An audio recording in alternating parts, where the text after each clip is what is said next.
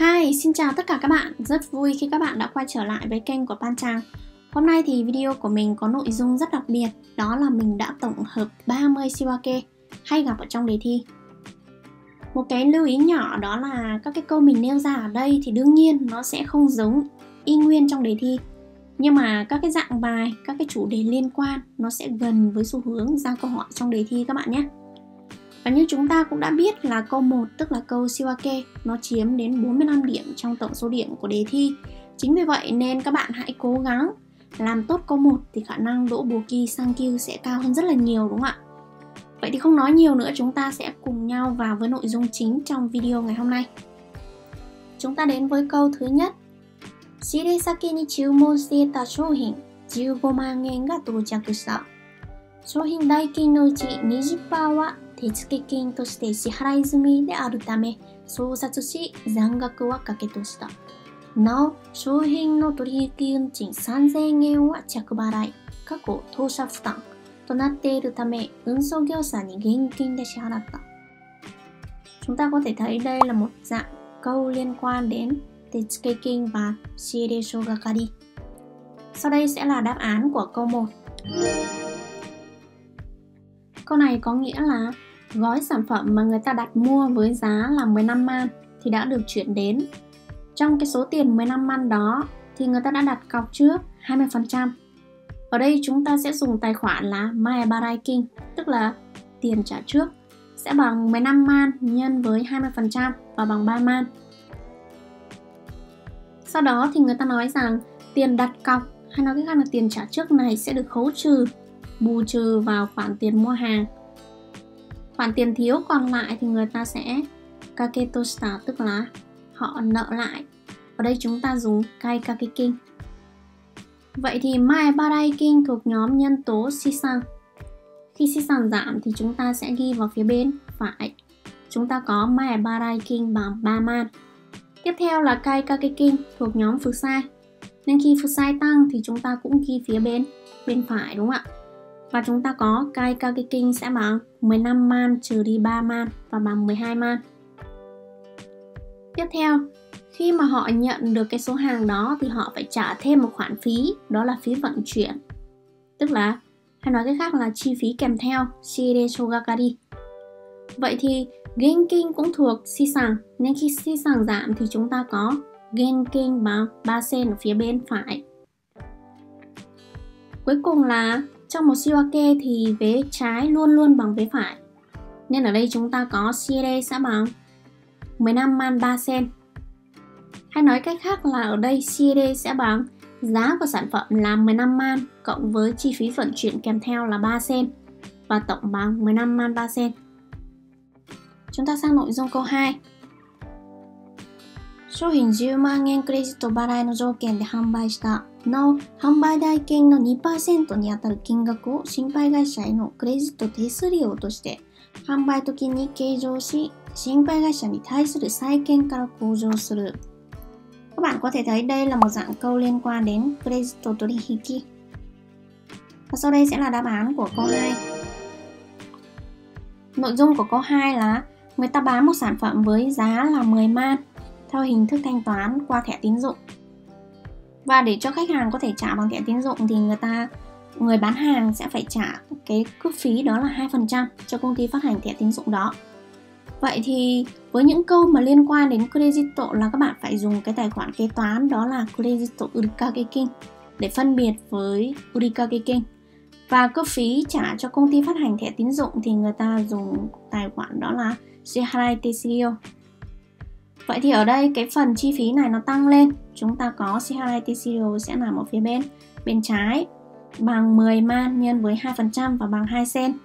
Tiếp theo đó là credit từ Rikakeking, nó sẽ thuộc nhóm Sisan.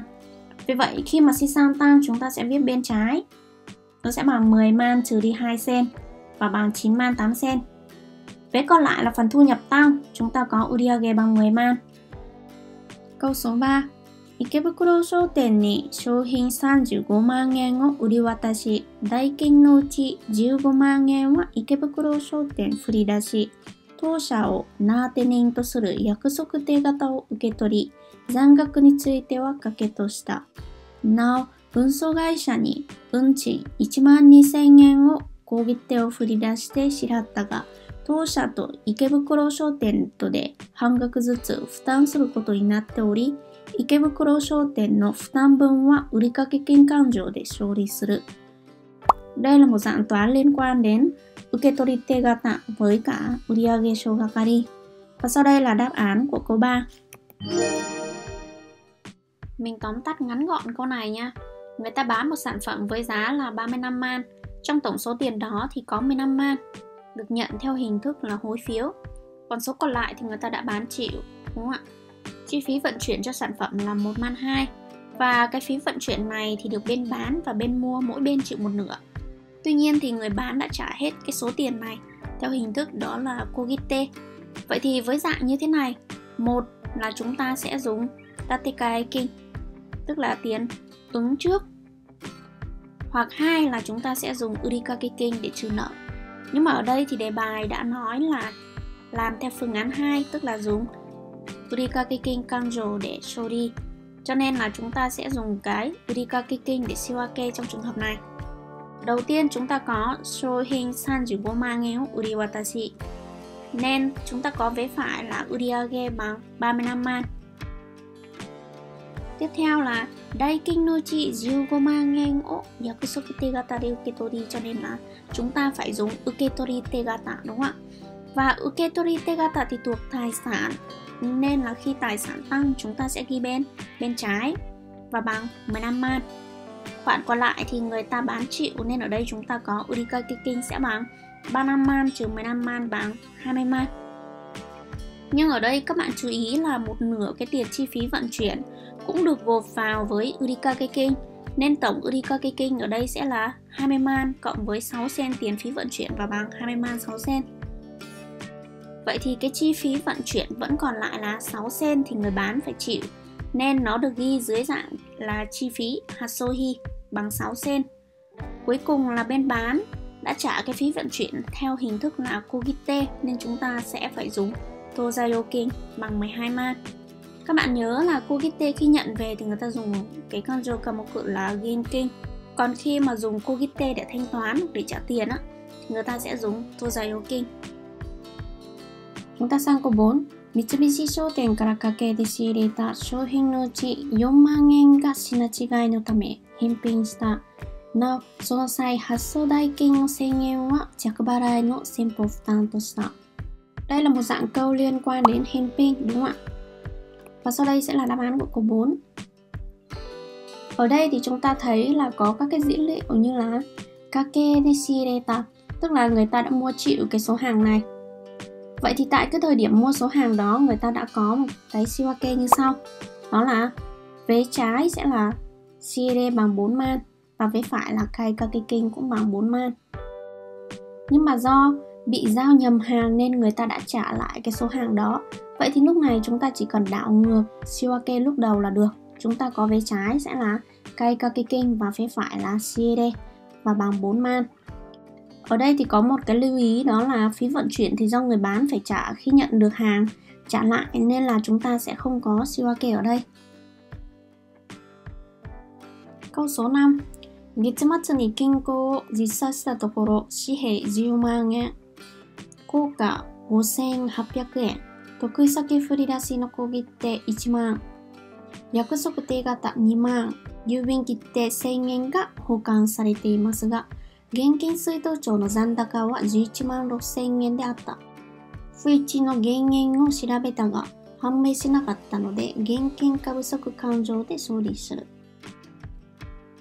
Đây là một dạng câu liên quan đến Genkin Kabusoku và nguyên nhân dẫn đến cái chênh lệch giữa số tiền trong sổ sách và số tiền thực tế thì vẫn chưa được làm sáng tỏ. Vậy thì đáp án của câu 5 sẽ như sau. Đầu tiên là chúng ta sẽ tính cái số tiền thực tế đến được trong kho là bao nhiêu đúng không ạ? Ta có tổng số tiền trong kho bao gồm có Sihe, tiền giấy 10 man, Coca, Kose Hapyaken và Kogite là 1 man. Như vậy là tổng số tiền trong kho ta sẽ có là 11 man 5 sen 800 yên. Nhưng cái số tiền ghi trong sổ sách lại là 11 man 6 sen. Như vậy cái số tiền ghi trong sổ sách nó nhiều hơn số tiền so với thực tế là 200 yên. Nên chúng ta phải giảm cái số tiền ghi trong sổ sách đi 200 yên để nó trùng khớp với cái số tiền thực tế đếm được trong kho. Vậy thì giảm Genkin đi 200 yên, tức là xí sàng sẽ giảm đúng không ạ? Nên chúng ta có Genkin vế bên phải sẽ bằng 200 yên. Khi mà chưa biết được nguyên nhân của sự chênh lệch này thì chúng ta phải dùng cái tài khoản đó là Genkin Kabusoku ở vế bên bên trái và cũng bằng 200 yên. Với những cái dạng toán như này thì các bạn nhớ là chúng ta phải xử lý sao cho cái số tiền ghi chép trong sổ sách nó bằng với số tiền thực tế, tức là lấy số tiền thực tế làm chọn. Chúng ta sang nội dung câu 6. 決算において以前借方に計上していた現金過不足2万円の減減を改めて調査した結果、 旅費交通費3万、受け取り手数料1万8000円の記入漏れが判明した。残額は減減が不明であったので、雑益または雑損として処理する。Đây vẫn là một câu thuộc chủ đề Genkin Kabusoku Nhưng mà trong trường hợp này thì người ta đã biết được nguyên nhân dẫn đến sự chênh lệch giữa số tiền trong sổ sách và số tiền thực tế. Và đây là đáp án của câu 6. Các bạn thấy là đề bài người ta đã cho chúng ta biết rằng trước khi tìm ra nguyên nhân của sự chênh lệch thì họ đã định khoản cho cái Genkin Kabusoku nó nằm bên trái.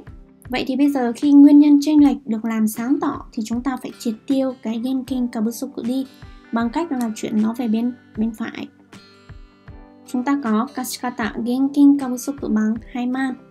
Tiếp theo, nguyên nhân dẫn đến sự chênh lệch ở đây là người ta đã ghi sót cái điều hi cô chữ hi và uketori tesurio nên chúng ta sẽ ghi hai cái tài khoản đó vào. Thứ nhất, điều hi cô chữ hi thuộc chi phí nên chúng ta sẽ ghi vào vế trái và bằng 3 man. Thứ hai là uketori tesurio thuộc phần thu nhập nên chúng ta sẽ ghi vế phải bằng 1 man 8 sen. Lúc này thì tổng vế phải chúng ta có 3 man 8 sen và vế trái bằng 3 man. Vậy thì để cân bằng hai vế với nhau, chúng ta phải thêm 8 sen ở vế trái Và lúc này chúng ta dùng tài khoản đó là giặt sông. Bởi vì các bạn hiểu giặt sông nó cũng là một dạng chi phí, mà chi phí thì hầu như là luôn luôn phát sinh và nằm phía bên trái. Chúng ta sang câu 7. 東京商店に60万円を貸し付け、同額の約束手形を受け取り、利息6000円を差し引いた残額を当社の普通預金口座から東京商店の普通預金口座に Frikunda. Câu này liên quan đến Tegata no Kashisuke. Và đáp án của câu 7 như sau. Với những dạng bài tập như thế này, thì khi mà cho vay ấy, thì tại cái thời điểm nhận hối phiếu của người đi vay, người ta sẽ dùng cái tài khoản đó là Tegata Kashisuke Sau khi nhận được hối phiếu thì người vay sẽ trừ cái khoản tiền phí lãi suất còn lại bao nhiêu thì họ sẽ chuyển tiền cho bên vay Vậy thì Tegata Kashiskeking thuộc tài sản nên chúng ta có vế trái là Tegata Kashiskeking bằng 60 man. Vế phải sẽ bao gồm số tiền lãi nhận về đó là Uketori Tesirio bằng 6 sen và còn lại là số tiền chuyển khoản cho bên vay. Chúng ta có Futsuyoking sẽ bằng 59 man 4 sen. Câu số 8 Tokusaki Osaka Shoten ni kikan 9 kagetsu, nên 4.5%, で、40万円を借用証書にて貸し付けていたが、本日満期日のため利息とともに、両店振り出しの小切手で返済を受けたので、直ちに当座預金に預け入れた。ラナモさん、高連花で貸し付け金は利息の計算。パサライナラバンココタン。Vậy thì để siêu ok được câu này, đầu tiên chúng ta イ Nó sẽ bằng số tiền gốc cho vay là 40 man nhân với lãi suất một năm là 4,5%. Đem chia cho 12 tháng và nhân với cái khoảng thời gian cho vay là 9 tháng. Chúng ta sẽ tính được bằng 1 man 3 sen 500 yên Vậy thì do người ta đã trả cả gốc lẫn lãi cho nên cái Kashiskeking lúc này sẽ được gạch sổ đi tức là si sàng sẽ giảm và chúng ta có vế phải Kashiskeking bằng 40 man Tiếp theo là tiền lãi thuộc phần thu nhập cũng được viết phía bên phải và bằng 1 man 3 sen 500 yên. Đề bài có ghi là cái số tiền cho vay và lãi suất thì được nhận qua hình thức là Kukite. Tuy nhiên thì ngay lập tức người ta đã bỏ số tiền đó vào trong ngân hàng nên vế trái chúng ta có Tozayokin bằng 41 man 3 sen 500 yên.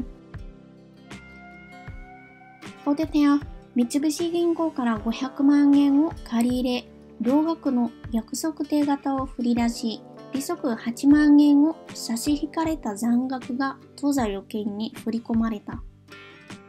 Một câu liên quan đến Tegata no Karire đúng không ạ? Tức là người ta vay 500 man từ ngân hàng và để vay số tiền đó thì người ta đã kiểu như là thế chấp bằng hối phiếu với cái trị giá tương đương là 500 man. Từ tổng số tiền vay đó thì ngân hàng đã trừ đi chi phí lãi suất và số tiền còn lại thì được chuyển khoản vào cái tài khoản ngân hàng của người đi vay. Và đáp án của câu 9 như sau.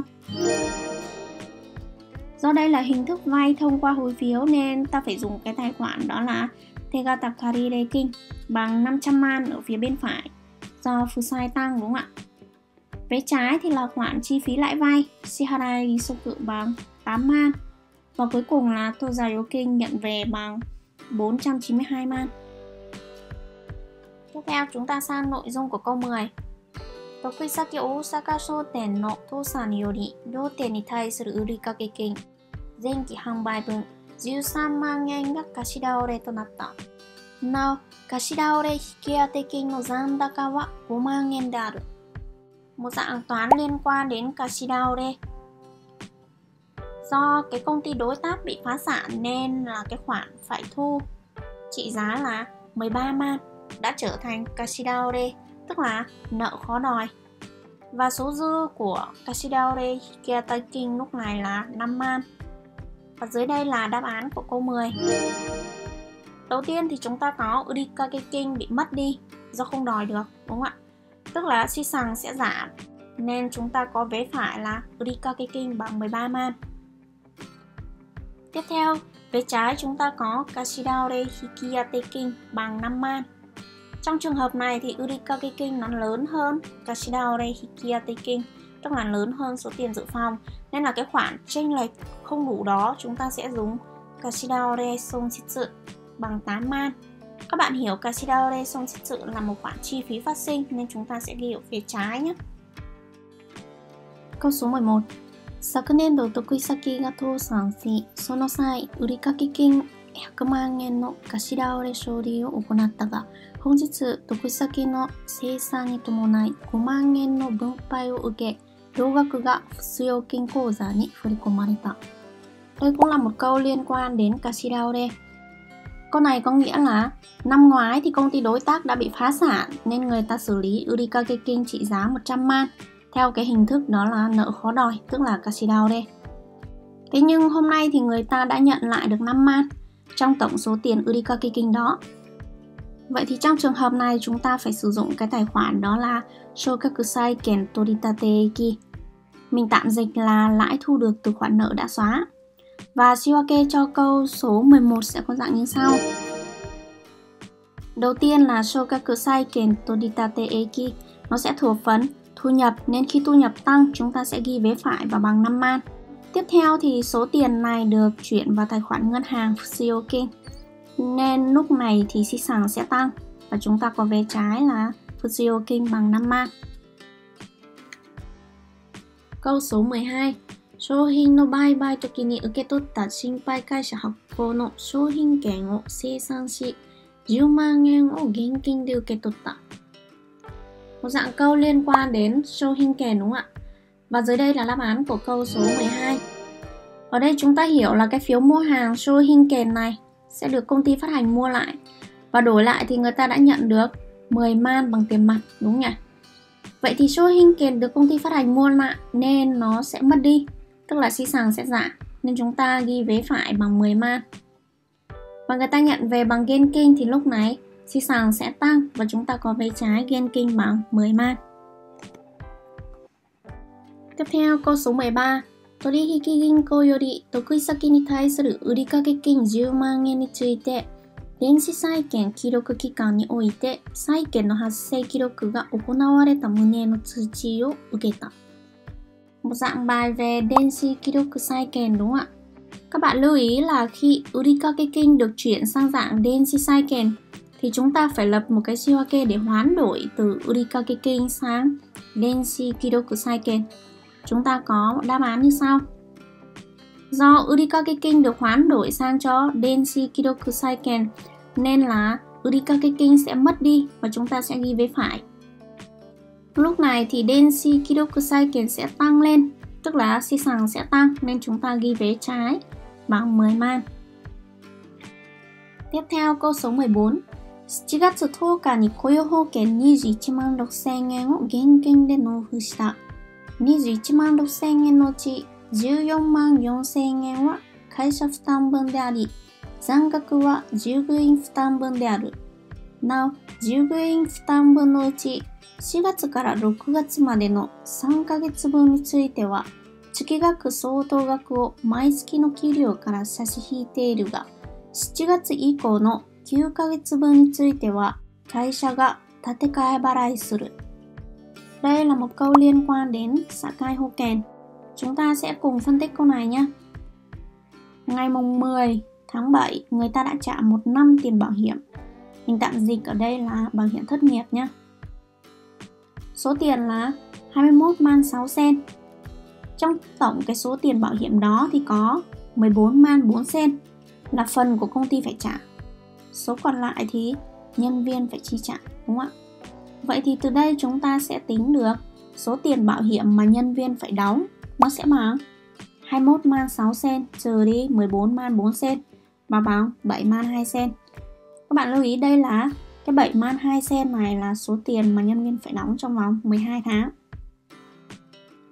Tiếp theo thì người ta cho biết là trong cái số tiền mà nhân viên phải đóng đó thì có 3 tháng từ tháng 4 đến tháng 6 là công ty đã tạm giữ bằng cách là trừ vào lương. Còn lại từ tháng 7 trở đi thì do chưa phát sinh lương cho nên là công ty đã tạm ứng và trả trước cho nhân viên. Như vậy chúng ta có số tiền mà công ty tạm giữ của nhân viên sẽ bằng 7 man 2 sen chia cho 12 tháng và nhân với 3 tháng và bằng 1 man 8 sen. Vậy thì số tiền công ty ứng trước cho nhân viên là số tiền còn lại sẽ bằng 7 man 2 sen trừ đi 1 man 8 sen và bằng 5 man 4 sen. Và chúng ta sẽ có Shiwake như sau. Thứ nhất, do chi trả bằng Genkin nên Genkin sẽ giảm hay nói cách khác là chi sàng sẽ giảm nên chúng ta sẽ có Genkin bằng 21 man 6 sen ở vế bên bên phải. Tiếp theo, tiền bảo hiểm do công ty phải trả thì chúng ta sẽ dùng tài khoản đó là Hote Fukurihi. Nó thuộc nhóm chi phí, nên chi phí phát sinh hay nói cách khác là chi phí tăng lên thì chúng ta sẽ ghi vế trái bằng 14 man 4 sen. Sakai Hoken Dio Azukari King thuộc nhóm Fusai. Khi công ty lấy số tiền tạm giữ Azukari King này đi nộp tiền bảo hiểm thì tức là số tiền này sẽ được xí xóa đi. Hay nói cách khác là Fusai sẽ giảm. Nên chúng ta ghi vế trái bằng 1 man 8 sen. Còn lại là Jigyuin Tatekai Kinh nó thuộc nhóm tài sản vì là tiền tạm ứng cho nhân viên mà đúng không ạ? Nên khi tài sản tăng thì chúng ta sẽ ghi vào vế trái bằng 5 man 4 sen. Như vậy là chúng ta đã shiwake xong câu số 14. Câu số 15. 従業員に対する7月分の給料総額は200万円であり、源泉消毒税15万、 健康保険、厚生年金の保険料19万4千円、及び雇用保険料の月額相当額6千円、会社が建て替え払いした分を向上した残額を普通用険口座から振り込んだ。Đây vẫn là một câu liên quan đến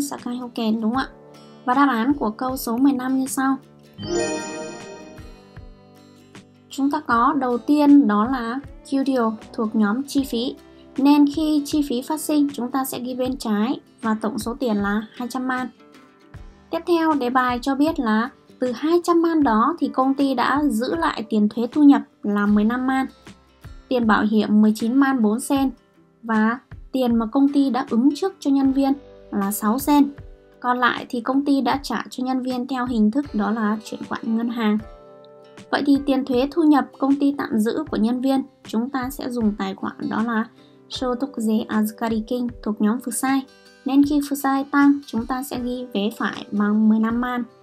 Tiếp theo là Sakai Hoken Azukari King, cũng thuộc Fusai, nên khi công ty giữ lại tiền bảo hiểm của nhân viên, tức là Fusai sẽ tăng lên và chúng ta có vế phải Sakai Hoken Azukari King bằng 19 man 4 sen. Vì công ty đã ứng trước cho nhân viên số tiền là 6 sen, nên họ trừ trực tiếp khoản này vào lương. Vậy thì Jiwing Tatekai King sẽ được xí xóa đi hay nói cách khác là xí sàng sẽ giảm nên chúng ta sẽ ghi vào vế phải bằng 6 sen. Số tiền còn lại thì được trả từ tài khoản ngân hàng nên Futsuyo King sẽ giảm và chúng ta có vế phải Futsuyo King bằng 165 man. Câu tiếp theo, câu số 16. 従業員が出張から戻り、旅費の残額8000円と得先で契約した商品売買にかかる手付金1万5000円を現金で受け取った。なお、出張にあたって従業員には旅費の概算額2万5000円を渡していた。Đây là một câu liên quan đến gai sang barai. Và đáp án của câu 16 là như sau. Đầu tiên thì chúng ta có điều hi giang các cự hạt sen nghe và tetsukekin ichiman gosen, tức là tiền cọc mà khách trả khi ký hợp đồng mua hàng. Vậy tổng hai số tiền này thì công ty đã nhận lại bằng tiền mặt từ nhân viên, nên chúng ta có gain king vế bên trái bằng 8 sen cộng 1 man 5 sen bằng 2 man 3 sen. Và lúc đầu thì công ty đã tạm đưa cho anh nhân viên này số tiền đi lại là 2 man 5 sen và sau khi đi công tác về thì anh nhân viên đã đưa lại cho công ty số tiền còn dư là 8 sen. Như vậy có nghĩa là số tiền đi lại cho chuyến đi công tác lần này mất 2 man 5 sen, trừ đi 8 sen và bằng 1 man 7 sen. Chúng ta có chi phí đi lại được ghi vào vé trái bằng 1 man 7 sen. Còn vé phải sẽ bao gồm Mae Ukeking thuộc nhóm Fusai bằng 1 man 5 sen.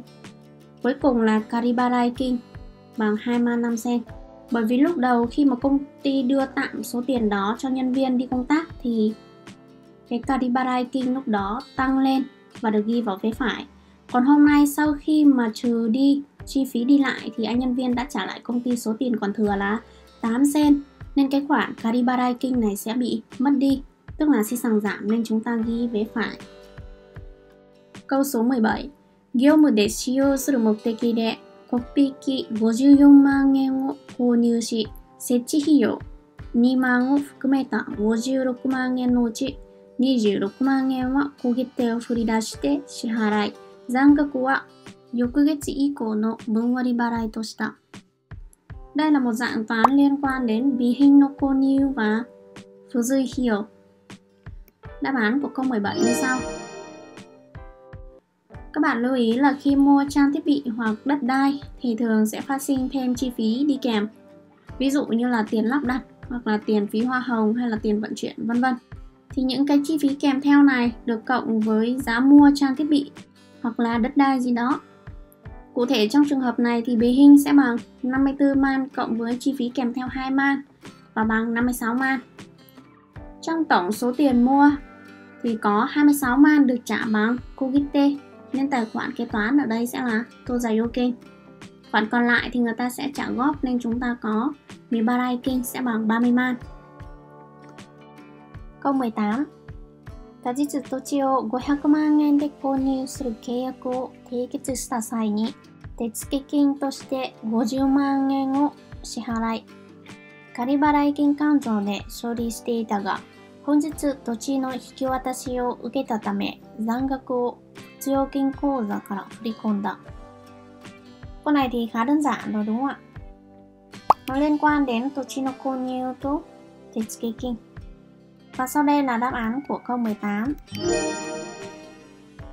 Đầu tiên thì chúng ta có Tochi thuộc Sisan Nên khi mua vào thì Sisan sẽ tăng lên Ta có vé trái Tochi bằng 500 man Ngày hôm nay thì người mua đã nhận được đất nên cái khoản tiền đặt cọc khi ký hợp đồng mua sẽ được xí xóa đi, tức là xí sàn sẽ giảm.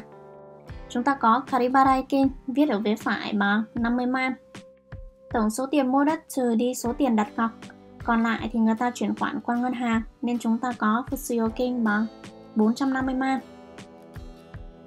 Câu số 19 Fuyo ni natta bihin, 習得原価66万円 原価償却理計額56万1000円 間接法で記帳を3000円で売却し、売却代金を現金で受け取った。Một câu về chủ đề bí hình no bay các cự đúng không ạ?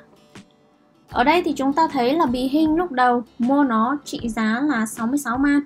Sau một thời gian sử dụng thì nó bị hao mòn đi mất 56 man một sen. Vậy thì giá trị bí hình trên sổ sách lúc này sẽ còn lại là 66 man trừ đi 56 man sen ngang và bán 99 sen. Nhưng mà người ta chỉ bán nó với cái giá trị đó là 3 sen.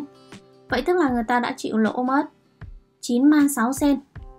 Và đáp án của câu 19 sẽ là Bí hình bị bán đi nên di sản sẽ giảm. Chúng ta có bí hình bằng 66 man ở vế phải.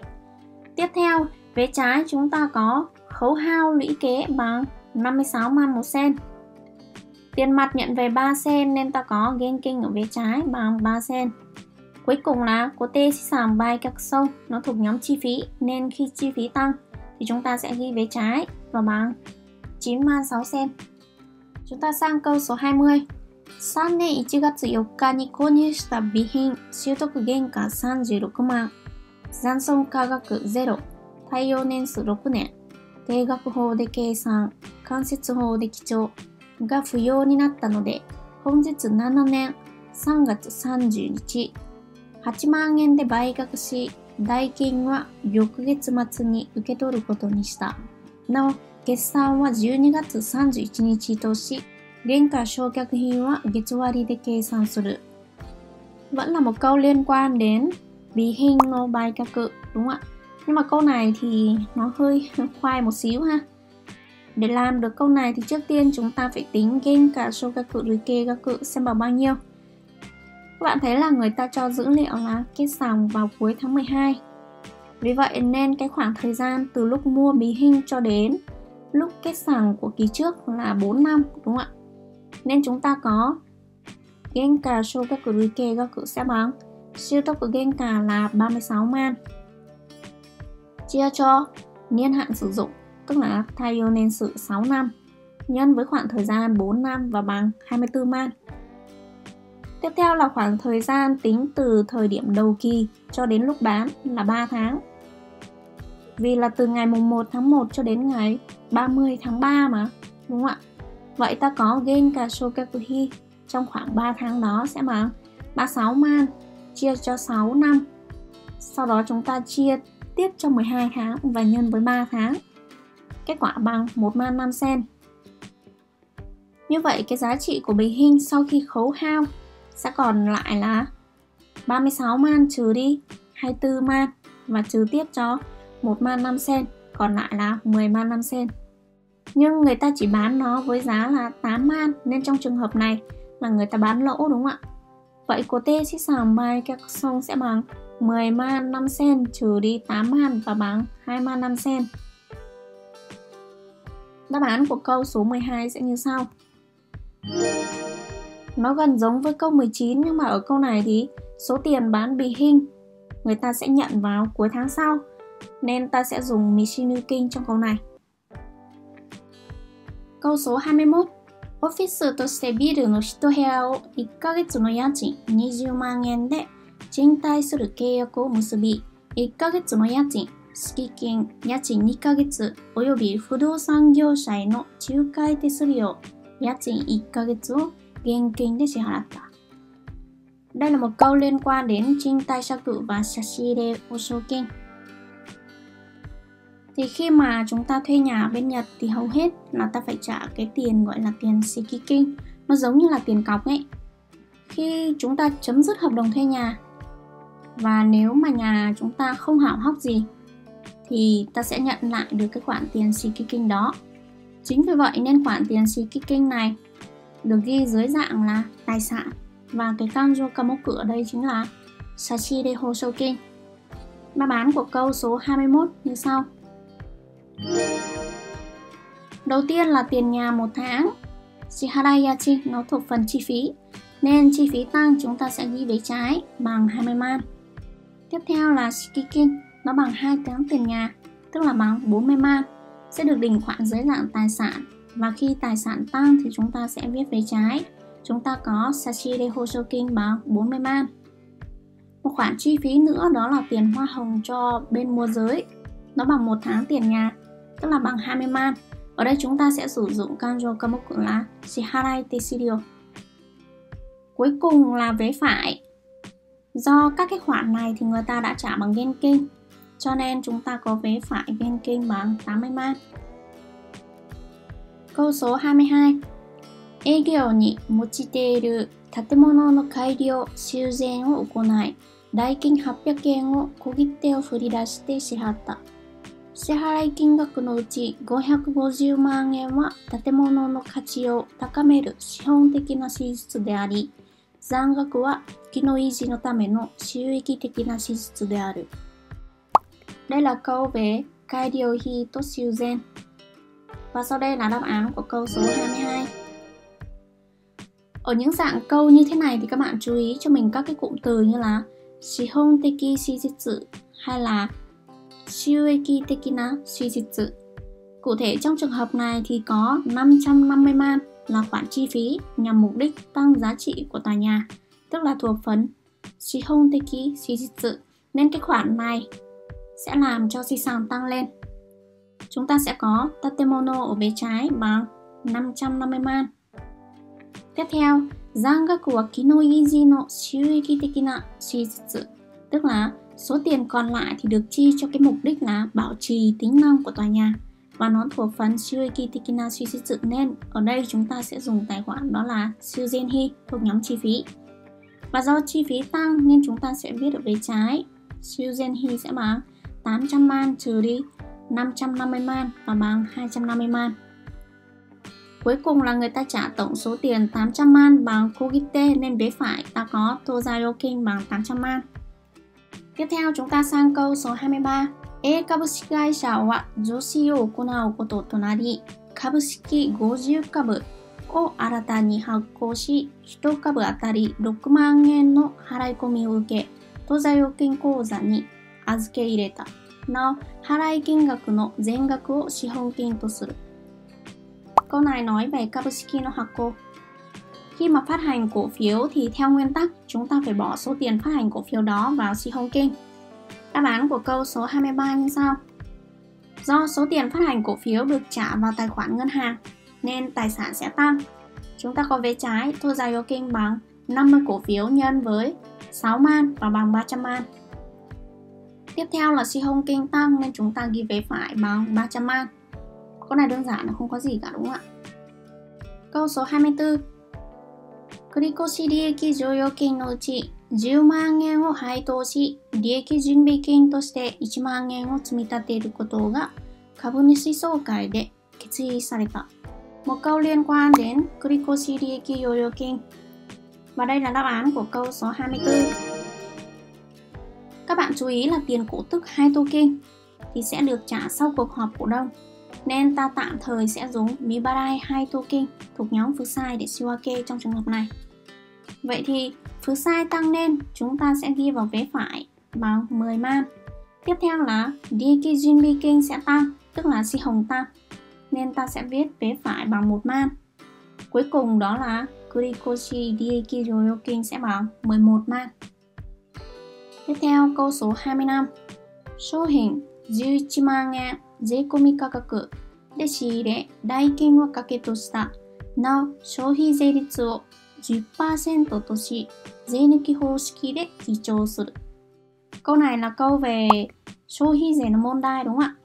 Các bạn thấy là người ta cho cái giá của sản phẩm dưới dạng là Zekomi Kakaku và nói là ghi chép sổ sách theo phương thức đó là Zenuki Hoshiki.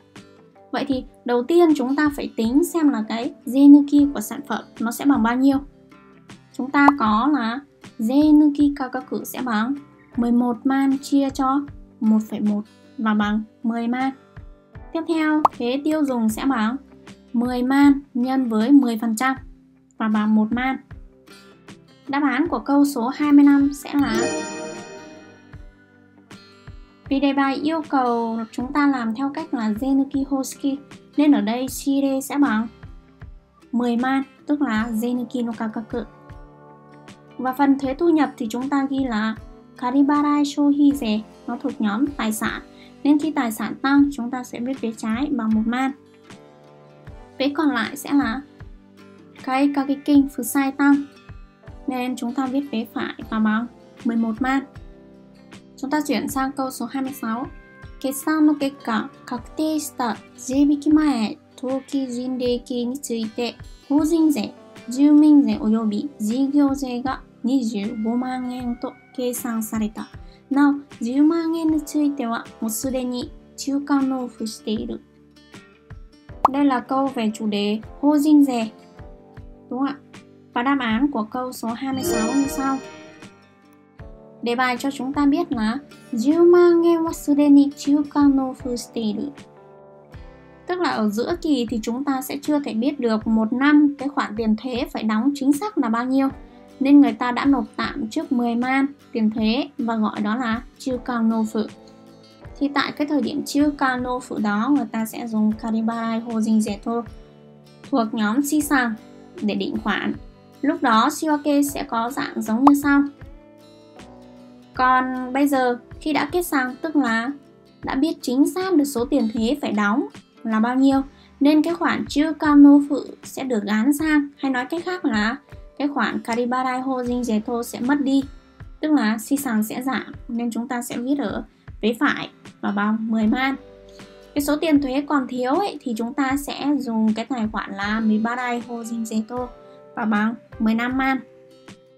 Vế trái sẽ là phần chi phí 法人税、住民税及び事業税 bằng 25 man. Câu số 27三菱銀行の当座預金が借越の状態になっている。決算にあたり、当座預金勘定の貸方残高10万円を当座借越勘定に振り替える。